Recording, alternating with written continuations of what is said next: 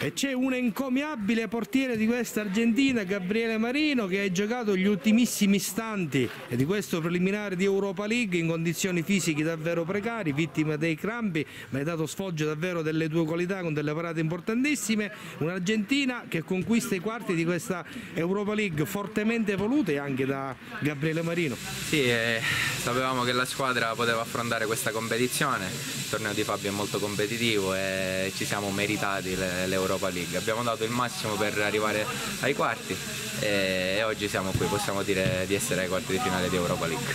Gabriele, sei riuscito a ricompattare una squadra partita con qualche difficoltà?